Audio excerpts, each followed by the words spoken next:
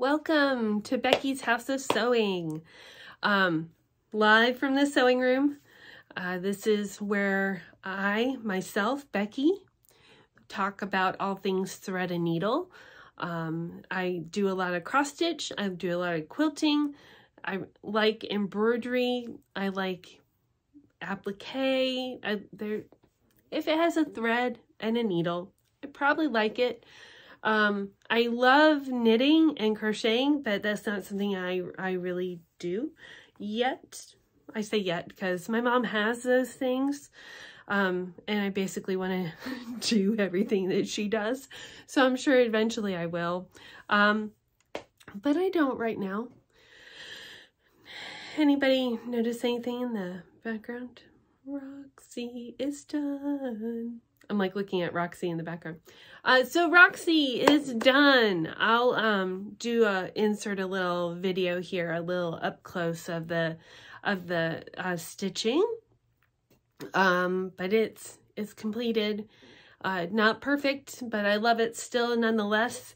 Um, otherwise, she is in timeout. Um, I've worked on her long enough. I need a moment away from Roxy, um, and then I will get her cleaned up. I will give her a little bath. We'll give her a little um, ironing, and I think I'm going to plan to uh, wrap it around the foam core and then maybe take it to a framer and have the framer um, uh, put the frame around it and maybe do some glass because I really like the glass. So Roxy is done. I think I finished her up Saturday, Sunday, Saturday, Sunday.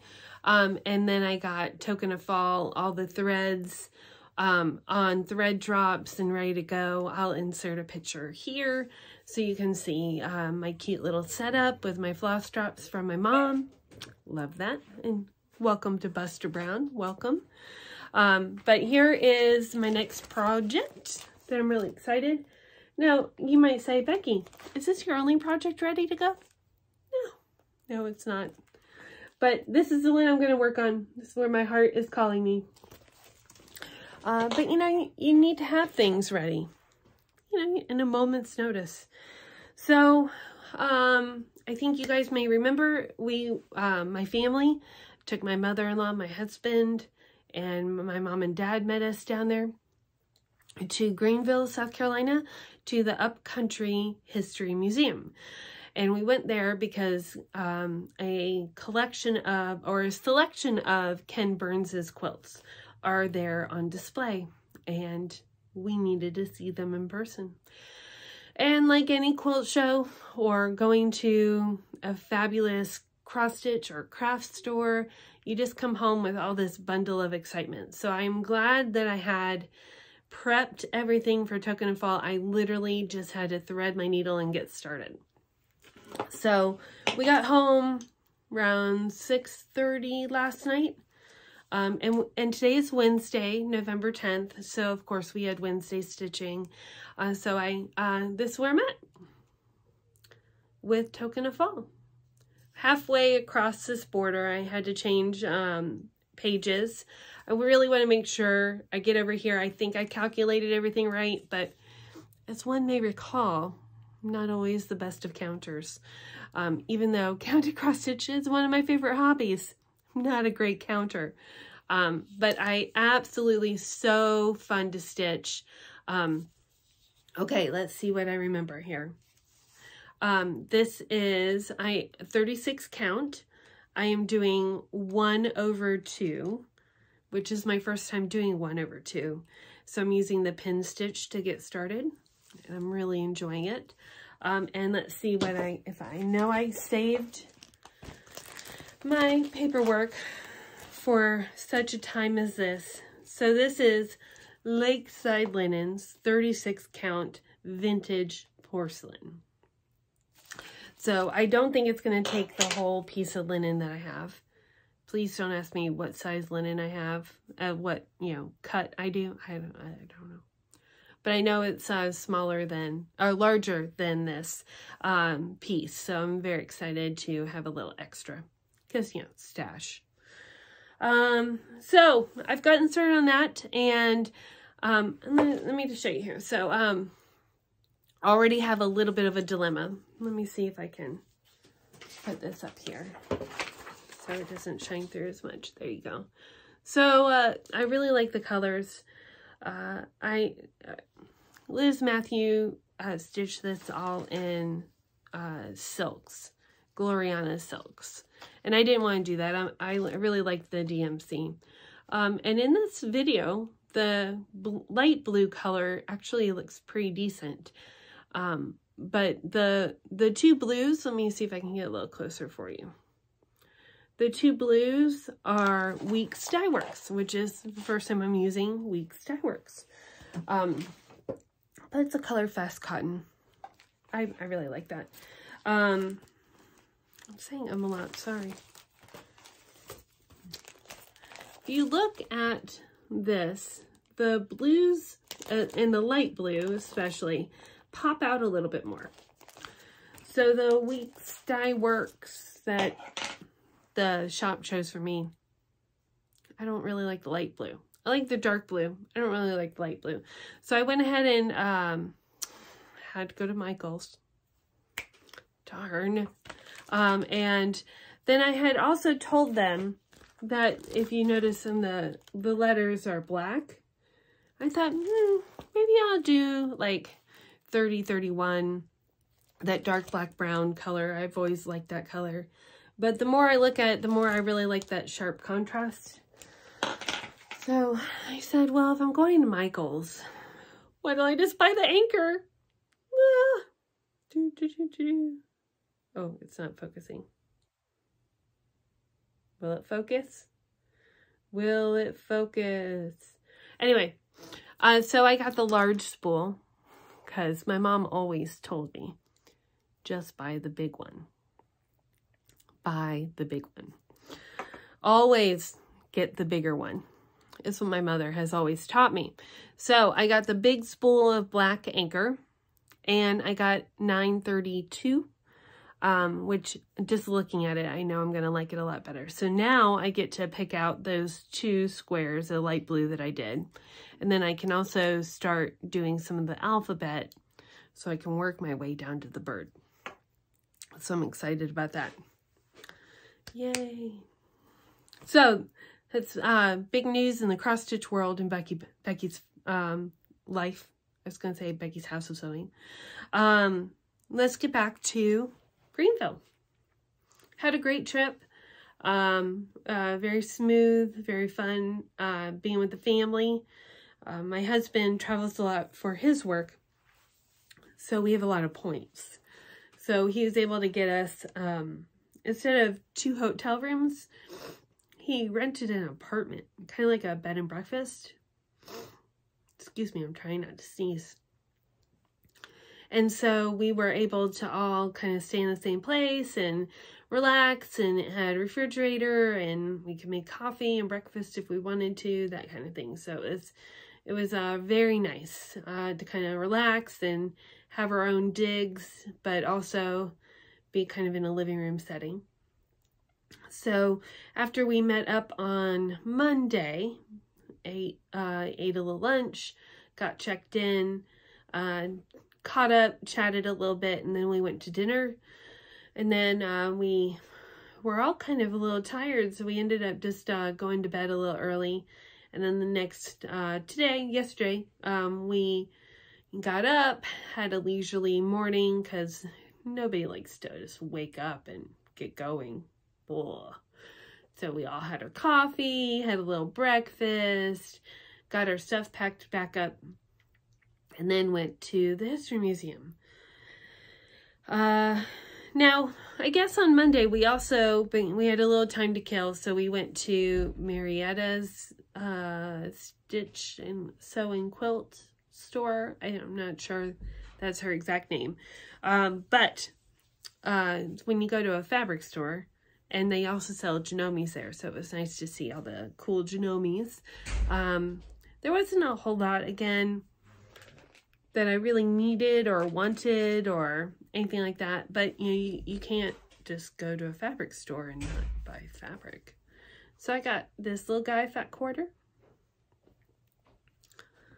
I got this little guy fat quarter. And got this little guy fat quarter. And no, I don't know what I'm going to do with them. Uh, the next day, we um, I had looked up for a cross-stitch store, and there's this place called Panda Panda's Crossing, and um, so that has cross-stitch and beads. Um, mostly a bead store, but I mean, they have a decent selection of cross-stitch and fabric and uh, lots of fancy flosses and things like that. So again, um, they didn't have a lot of um, samples to inspire one. I don't know if you know or notice that, you know, cross stitches are really pretty, but seeing them in person is really what takes your breath away and gets y'all insp inspired. So, but again, I don't want to be rude. I want to make sure I'm spending some money. So I got this little charm, little scissor charm, because girl can't have too many scissors. Cute, right? Right? Little scissors. Uh, and then I got some finishings for no particular reason at all. I got some mini pom-poms from Dames of the Needle. Cute little pom-poms. And then I got some rickrack because, again, why not? Um, and this is uh, Lady Dot Creates. So, yeah, spent a little money at each little shop. That was fun. Um, before I left, I'm, you know, just going back and forth. We're not doing this in any particular order.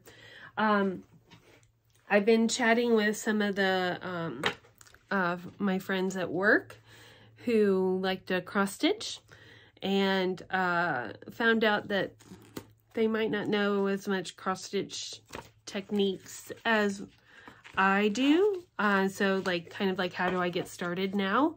Now that I have all this stuff because if you tell me you want to cross stitch then I will probably overload you with fun things because you, yeah. Stitchy kindness needs to be moved on to all locations. So um, I uh, got excited again and got some things. I, I know that they have some projects, uh, the two girls that want to cross stitch together. Um, they already have a couple projects, but I thought it might be fun if I'm helping them learn some techniques that maybe we have some simple something or other. And so I got from the Fat Quarter Shop um, these little stitch cards from Lori Hart, Hol Lori Holt. Whoa. Um, I thought they were fun and quick and easy and simple. Um, and again, I, I think they're kind of both new to cross stitch. And uh, so I got the thread pack for that so we can share or, you know, whatever. And then I got two pieces of Aida because good Aida isn't, there's nothing wrong with Aida. Um, I, I like smaller stitches, so let's hope that this isn't too small for them to learn on. But, you know, it's kind of nice to not have to think about so many different holes, and Aida's kind of nice with that. And again, there's nothing wrong with a, a nice Aida, and these are uh, fiber on a whim. And I'm used to Aida that's like stiff as a board. has a lot of sizing in it. Um, and you have to like wash it a million times to make it nice and flexible. But these are, these feel really good in the hand. And two simple um, colors. I don't know if you can see the difference. One is cappuccino and the other is cream and sugar. So those are kind of nice. Uh, so we'll split those up and we can, you know, test out different techniques and uh, play around with that. So I'm excited. I think we're going to do that in a couple weeks on a Sunday. Just kind of get together, have a cup of coffee, and do some stitching, which always a good thing. Why am I putting this away now? I can do that later. Another thing I'm excited about is, um, well, I've been I've been in a little shopping spree. I did get another quilt kit because I'm impatient and I I wanted uh, to I ordered Tula Pink's Pining for You quilt, um, which should be arriving sometime in November, but it hasn't arrived yet and it's uh, not shipped yet. So what's a girl to do but to buy another uh, quilt kit because there's um uh, a designer that I really like who I have a slight connection with. Uh, her niece also works at the container store and my mom has taken a couple quilt classes from uh, this lady and she has designed some shot cottons. Her name is Pepper Cory. Hi Pepper if you ever watch this. Um, I really, really think Pepper Cory is very cool. Um, again, a person that I aspired to be. Does a lot of uh, cool retro things, Sashiko things. Um, just, I really like her point of view and her teaching technique is really cool.